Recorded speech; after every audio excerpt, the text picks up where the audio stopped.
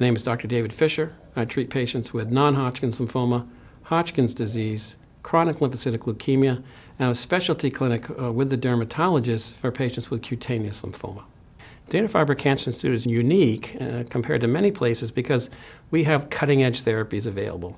We try to have all the latest clinical trials, and those clinical trials uh, often find drugs that are quite effective, and we already know how to use them once they become standard drugs.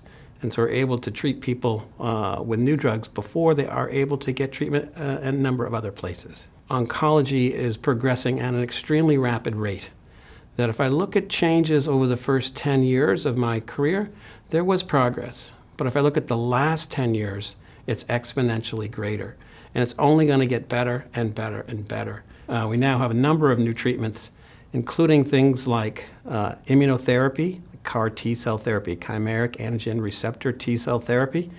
It means that we take the patient's T cells, which normally attack lymphoma, and aren't able to do it, and we genetically modify them and give them back, and the patient's immune system can attack the lymphoma, and this can be very effective. We now also have what we call bispecific antibodies. Bi means two. They bind to the cancer and they bind to the T cell, the cell that attacks cancer.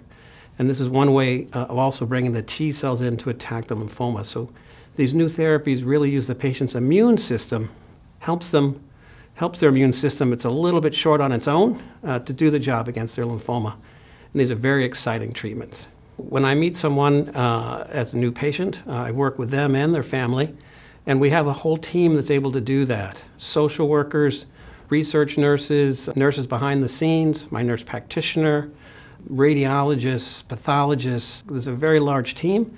We bring them all to bear against the patient's cancer.